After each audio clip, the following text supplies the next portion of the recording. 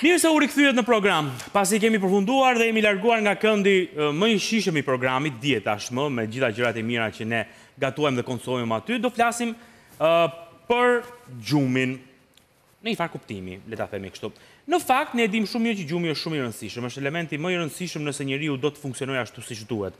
Natyra e ka krijuar, pa diskutim, faktin e ciklit, pra të aktivitetit dhe të pauzës. Por kur kjo pauza, le ta themi kështu, nuk është e duhura, për arsye të ndryshme, ose arsye që ne nuk i zgjedhim vetë, por dhe arsye që ne i zgjedhim vetë nga stili i jetës, pastaj ka rrisqe shumë të mëdha të cilat mendoj që duhet t'i keni parasysh përpara se të bëni zgjedhjet e gabuara. Prandaj edhe në studio kemi sjellë. Luçano Bardhi, mjek alternativ. Mirë se erdhe Luçano. Mirë se erdhe. Është gjithmonë kënaqësi.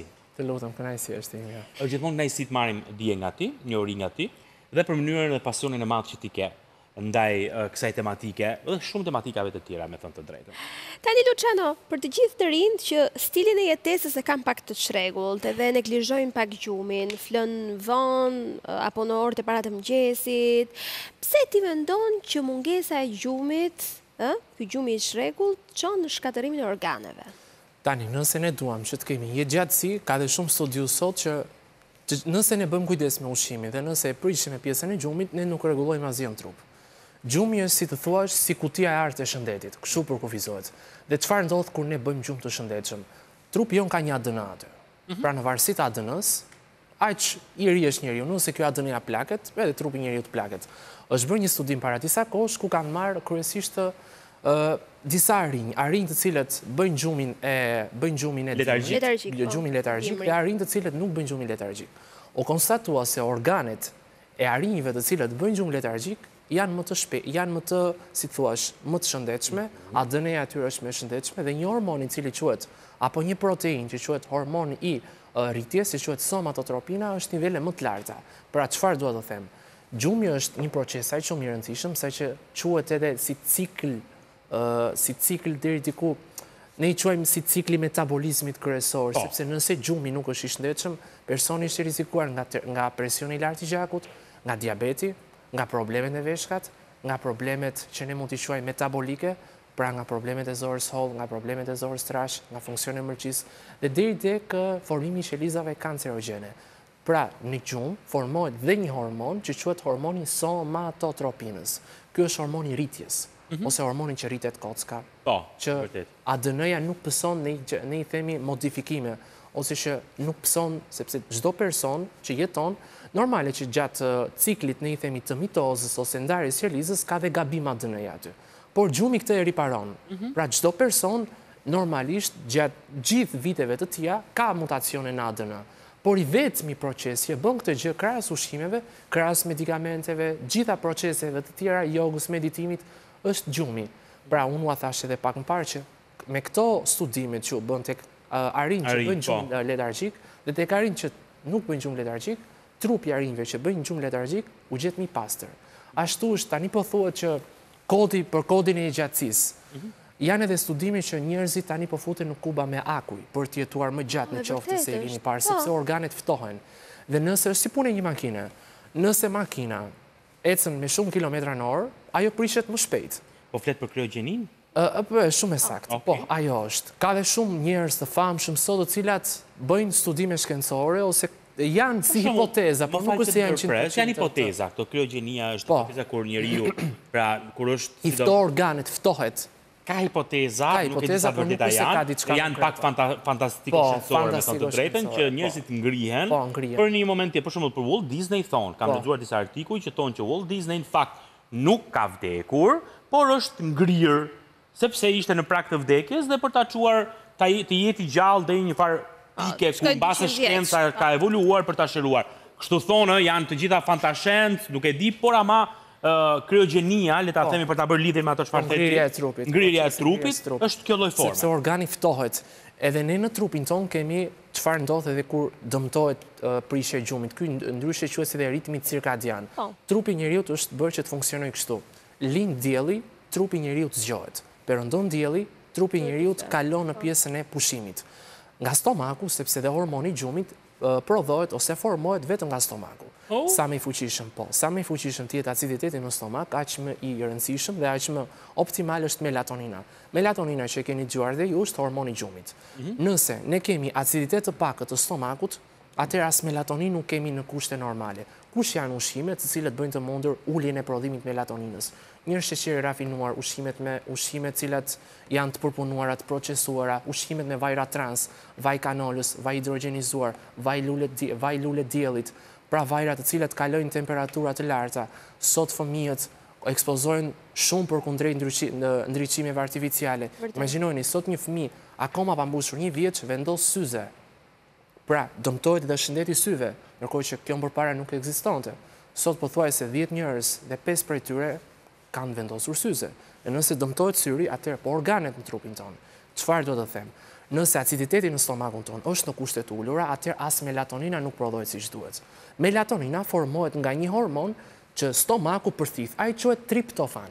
Dhe kush janë ushqimet të cilat janë të pasura me triptofan? Kivi, Kivi ka shumë triptofan, është banania, banania ka shumë triptofan, është kungulli, farat e kungullit, farat e kungullit kanë dhe një lëndë aty e cila quhet kukurbitakin, mhm. dimetil kukurbitakina, ose acetil metil kukurbitakina.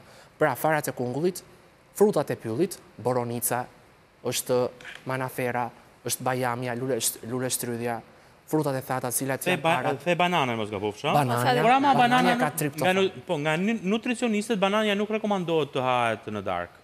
Jo në darkë, unë s'po them darkë, sepse... Ta konsumojnë gjatë ditës, sepse favorizon krijimin e melatoninës. Pra, mund të konsumohet jo në orë të vona të natës, por mund të konsumohet afërsisht para se të perëndojë dielli, rreth orës shtatë, rreth orës shtatë e tridhjetë, pra kur është në fazën e perëndimit të diellit, sepse e thamë, pas orës tetë ose kur dielli fillon që të zhduket, që të perëndojë, Enzimat proteolitike fillojnë dhe të pushojnë. Pankreasi, mëlçia, zorra e hollë fillojnë që të kalojnë në stadin e pushimit.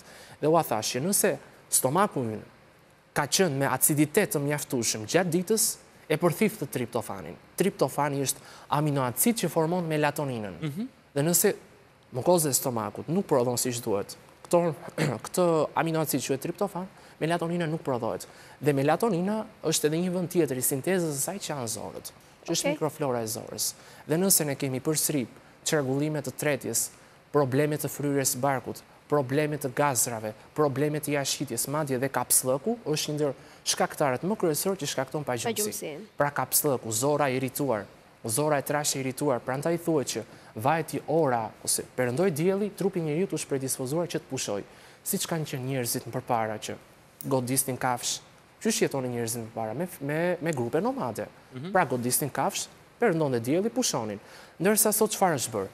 Trupi jonë ka dhe dy hormone. Unë këto i quaj orkestra e trupit. Kush janë këto? Grilina dhe leptina. Si quhet fjala grilin? Grilin do të thotë edhe nga emri, gërr, gërr. Edhe këtë e prodhon stomaku, me anë të qelizave të cilat ndodhen në fundus. Fundusi është pjesa e sipërme e stomakut. Kjo grilina sinjalizon që personi duhet të ushqehet tani. Po, ajo gërr-gërr që na bën. Ajo gërr-gërr që na bën në momentet që ne duam që të konsumojmë ushqim. Ajo jep informacion bërthamave të hipotalamusit. Hipotalamusi është një qendër orkestruese e hormoneve. Ndodhet në pjesën, i themi, të nukleusit suprakiazmatik. I bie ku?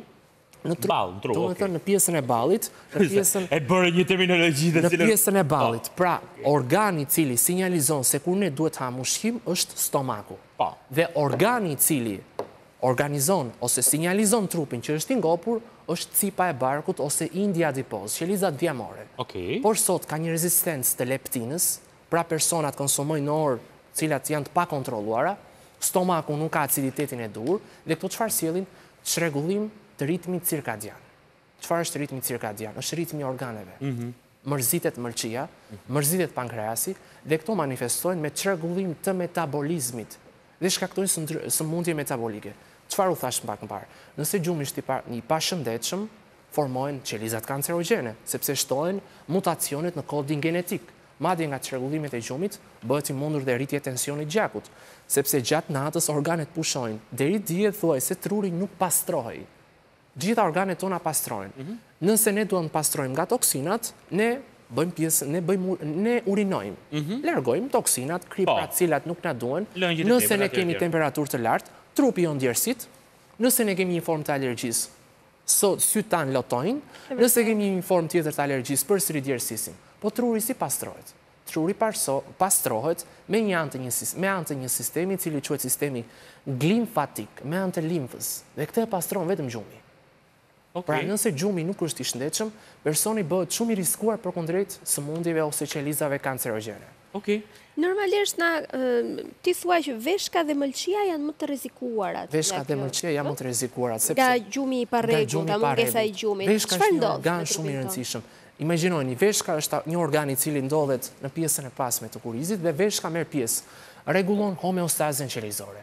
Veshka prodhon një hormon i cili quhet eritropoetina. Veshka bën të mundur dhe rregullimin e aciditetit në stomak. Dhe nëse veshka percepton që trupi është në stres, veshka bën dhe gurë. në varësi të uljes së gjumit, sepse prishet filtri i veshkës. Veshka është një organ mekanik. Ah, domethënë e gurët shkaktohen edhe nga pagjumësia? Pra kanë edhe një shkaktar që është pjesa e pagjumësisë, sepse prishet metabolizmi e thamë. Pra, metabolizëm do të thotë funksioni i qelizës. Shiko! Homeostazës. E kuptoj. Homeostaza është gjendja e brendshme, ekuilibri i qelizës. Imagjinojini, gjumi është ai sistem i cili rregullon dhe ADN-në. Nuk ka ushqim, nuk ka proces, nuk ka joga, nuk ka meditim përveç gjumit. E kuptoj.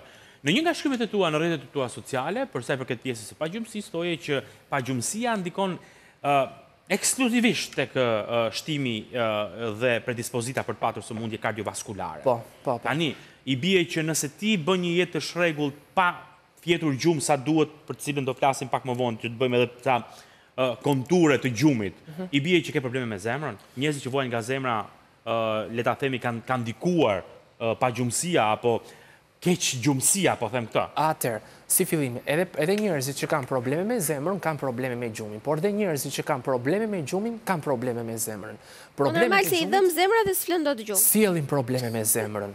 Zemra është një organ ose mund ta quaj më mirë një pompë muskulare. Po. Pompë është zemra. Po. Dhe gjatë gjumit pastrohet, mëlçia bën edhe një proces që quhet procesi i autodetoksifikimit. Po. Mëlçia është një organ që merr gjak nga dy organe, nga mëlçia dhe nga veshka. Dhe këto dy organe pastrojnë gjakun gjatë natës. Dhe mëlçia nëse merr gjak të pastër ka një ritëm Normal. Çrregullimi i gjumit sjell dhe pjesën e, ne i themi, të aritmive gjatë gjumit. Ka shumë njerëz që gjatë natës zgjohen nga gjumi dhe zgjohen afërsisht rreth orës tre ose rreth orës katër të natës, konsumojnë pak ujë. Dhe kjo bëhet sepse thahet goja, goja thahet nga kortizoli, nga rezistenca e insulinës. Pra gjumi i pashëndetshëm sjell dhe probleme oksigjenimin e zemrës.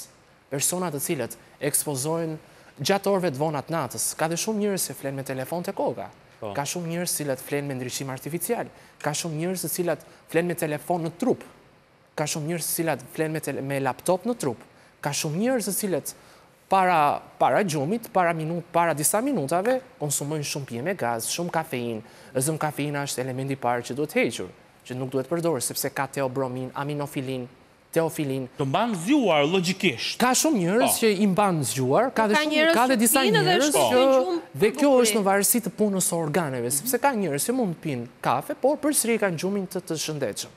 Një person që ka gjumë të shëndetshëm jeton më gjatë. Një person që ka gjumë të shëndetshëm nuk rrezikohet as nga infarkti i miokardit.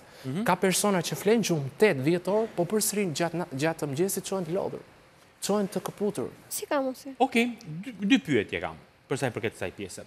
Pyetje të cilat burojnë nga publiku që është duke na ndjekur dhe është gjatë gjithë kohës aktiv dhe shkruan në faqen tonë të Instagram në shtëpinë tonë pikë tc. E para njëherë, siç e the edhe ti në fillim, normalisht që gjumi ndikon në hormonin e rritjes. Hormonin e rritjes. Po kjo vlen vetëm për fëmijët, sepse ka njerëz, ka teorira dhe ka njerëz të cilët janë në moshë pak më madhore, ta themi në pas pak adoleshencës s'e kanë mbushur akoma të njëzetat dhe duan të zgjaten. Po. Nëse flën gjumë shumë zgjaten, vazhdojnë jo, zgjaten apo jo? Nëse bëjnë gjumin optimal, nëse optimal. bëjnë gjumin të shëndetshëm, ka shumë njerëz të cilët mund të flenë 8 orë, 10 orë, por përsëri çohen të lodhur, çohen të ngarkuar, përsëri e bëjnë gjumin jo të shëndetshëm. Pra, hormoni i rritjes nuk është ai hormon i cili zgjat kockën. Mm -hmm. Hormoni i rritjes është ai hormon i cili bën të mundur që të rregullohet ADN-ja.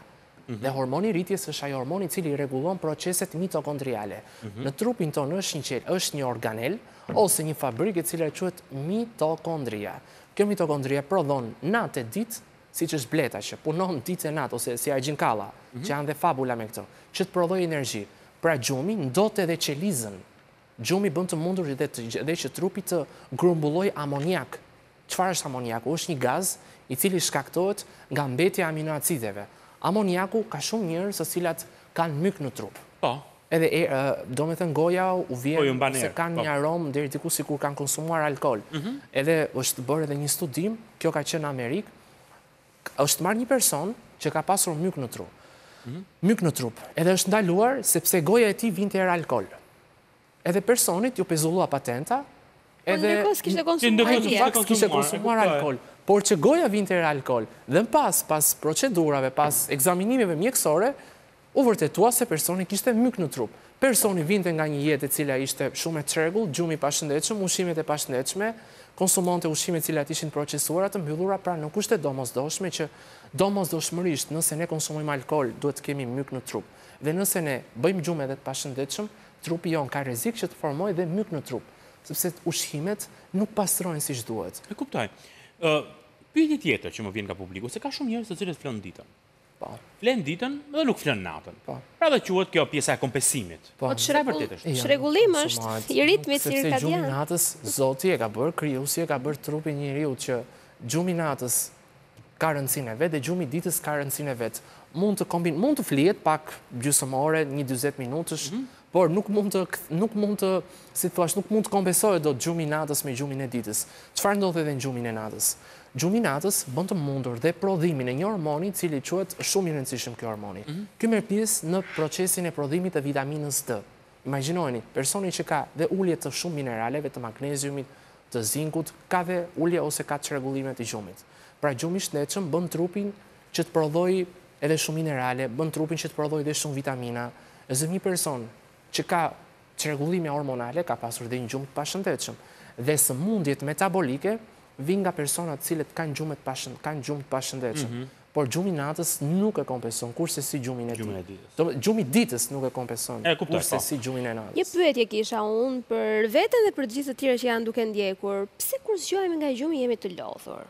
Po sepse gjatë ditës ne nuk kemi konsumuar ato ushqime dhe nuk i kemi dhënë kohë apo qetësinë e duhur organeve.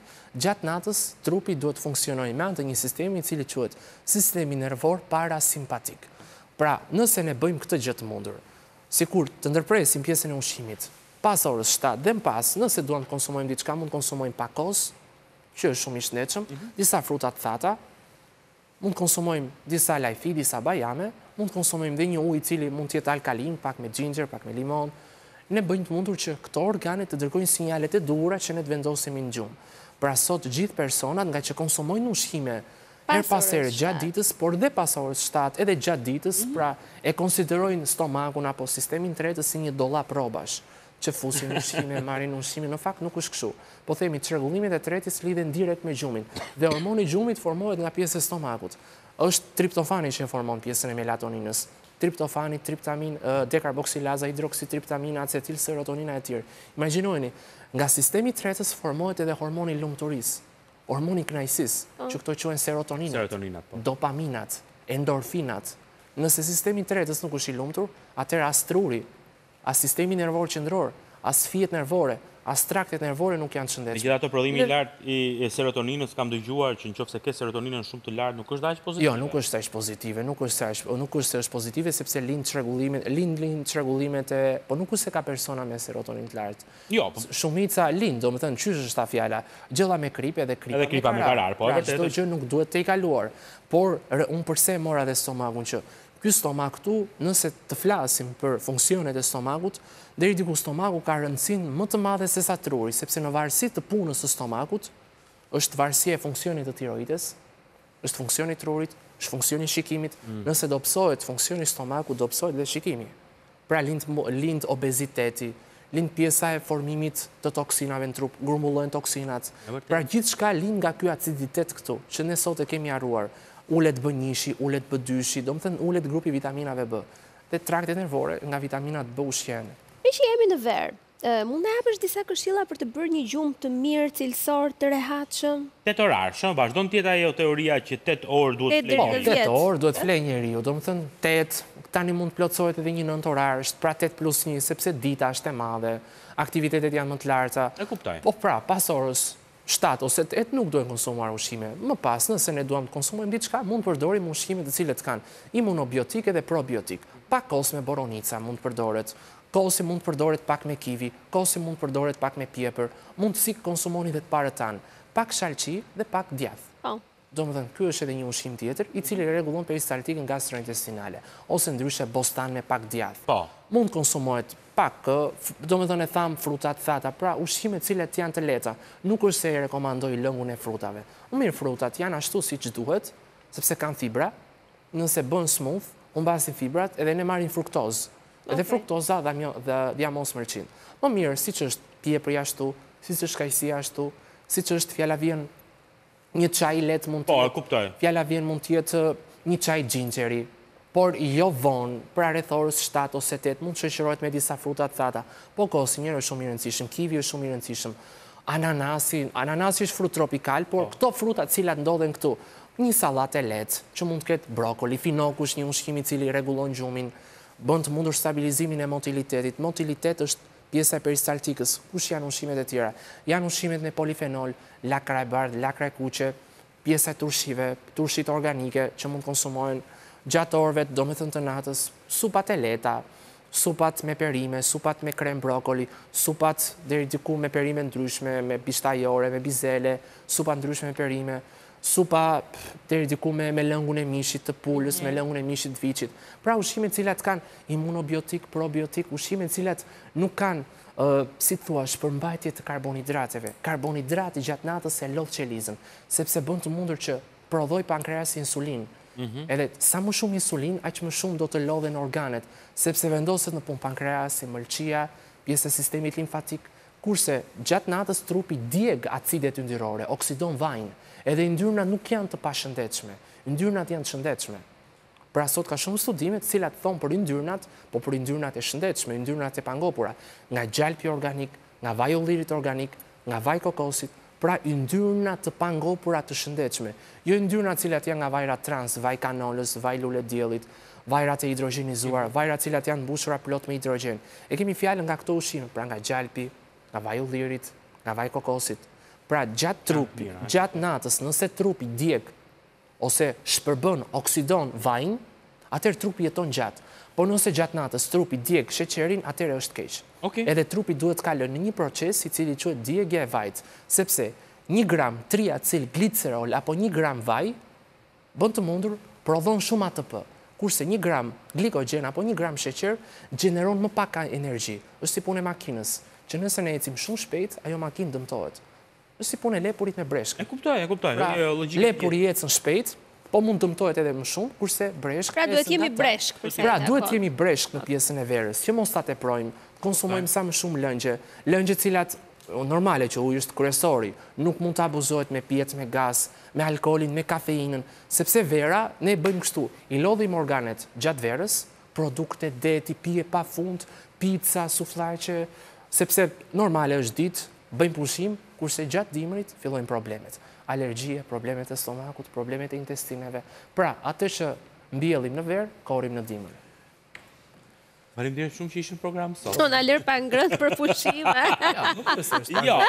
Hamë, hamë me mend në kokë. Me mend në kokë, me mend në kokë. Nuk është se nuk përdoren ato. Ato përdoren, po përdoren me një karar. Përdoren me një. Po, nuk duhen tepruar. Nuk duhen tepruar, se njerëz jemi, i përdorim. Tani do një një lugë, një lugë ëmbëlsirë do e hash. Kështu që mos na fusni në mundin e pushimeve. Edhe kripa me karar. Faleminderit shumë. Faleminderit shumë, shumë kënaqësi. Pushime të mbara. Edhe juve. Dhe do shihemi sërisht. Okej, shkojmë publicitet, do vazhdojmë flasim prapë për gjumin, por në një këndvështrim tjetër, vetëm pas pak.